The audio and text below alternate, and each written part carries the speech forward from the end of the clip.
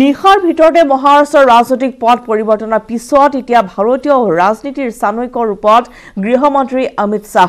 অমিত শ্বাহৰ প্ৰশংসাৰে ছ'চিয়েল মিডিয়াত পঞ্চমুখৰ হৈ পৰিছে বিজেপিৰ নেতা কৰ্মীসকল। লগতে হিন্দী চিনেমাৰ ছুপাৰ হিট সংলাপেৰে অমিত শ্বাহক লৈ প্ৰস্তুত কৰা হৈছে মিম।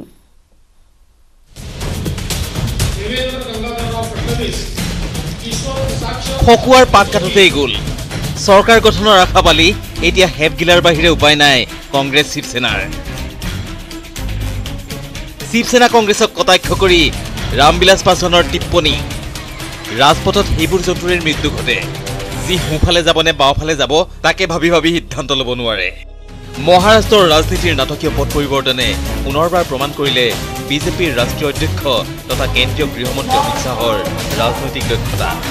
মহাৰাষ্ট্ৰৰ নাটকীয় পৰিৱৰ্তন ঘটাই অসম্ভৱকো সম্ভৱ কৰি দেখুৱালে অমিত শ্বাহে। তাৰ পিছতেই দেশৰ ৰাজনীতিৰ চাণক্য আখ্যা অমিত শ্বাহক।